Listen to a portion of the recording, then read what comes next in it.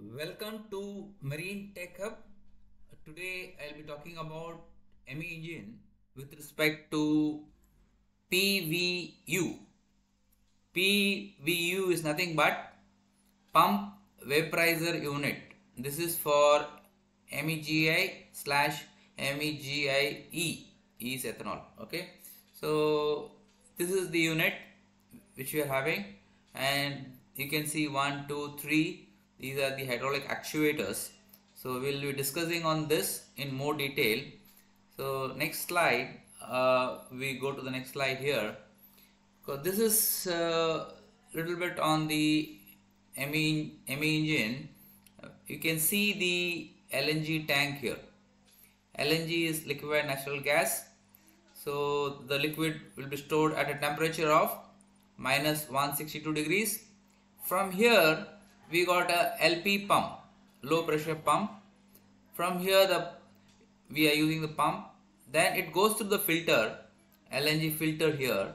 Then it goes to the HP pump, high pressure pump or you can say hydraulic actuator. Normally uh, this HP pump what it does it actually uh, makes the liquid into the gas and uh, we are using the HP vaporizer high pressure. This high pressure vaporizer uh, we are using glycol filter. And we are heating the glycol and we have a pump. So this is circulated and uh, to heat the liquid to convert into vapor. Okay from here if you see this HP pump HP pump is operated by the hydraulic system see hydraulic oil supply okay this hydraulic oil supply can be run by electric. So we have a hydraulic oil supply which is coming and will activate the HP pump here. From here HP vaporizer the gas is coming up here to GVT that is gas valve train. Okay this is again controlled by MECS this is engine control system and again we have the whole system PVV is controlled by PVU control system and then this connected to FGSS fuel gas supply system we have a control system here. So if you see here what is written?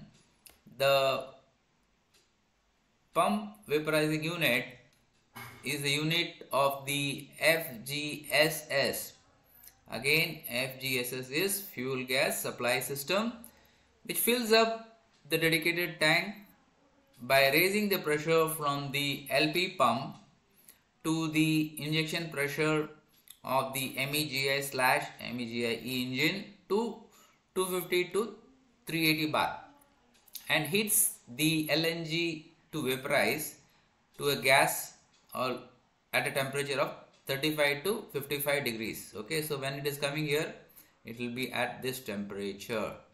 So next i will go to the next slide where you will see again we have so many controls here.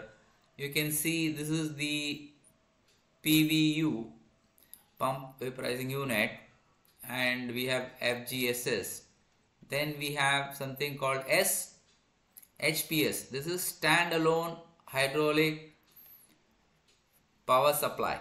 Okay so this is again controlled by the PVV control system here. This electric equipment room. And this again is connected to the MOP okay main operating panel. Then we have something called the ICS integral control system. Then this is what it is. ICS is again attached to this.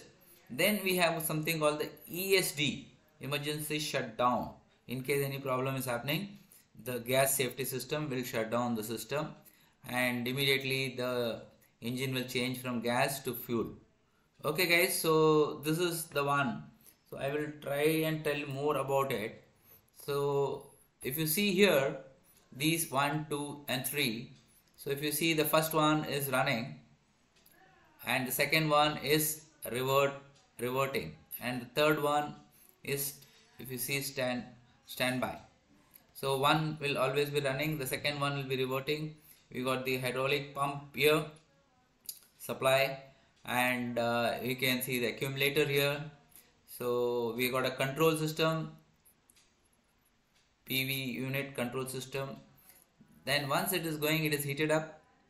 You can the heating system gas outlet it is measured. So this is one of the important thing on the MEGA engine where we'll be having this hydraulic actuator which will be converting the liquid to vapor and we are heating up by glycol. Okay guys uh, this is the part 2 of the video. And if you like the video please subscribe. And i'm helping most of the engineers all over the world uh, for troubleshooting.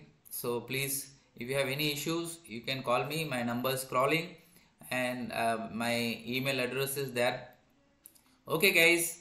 Have a nice day. Thank you very much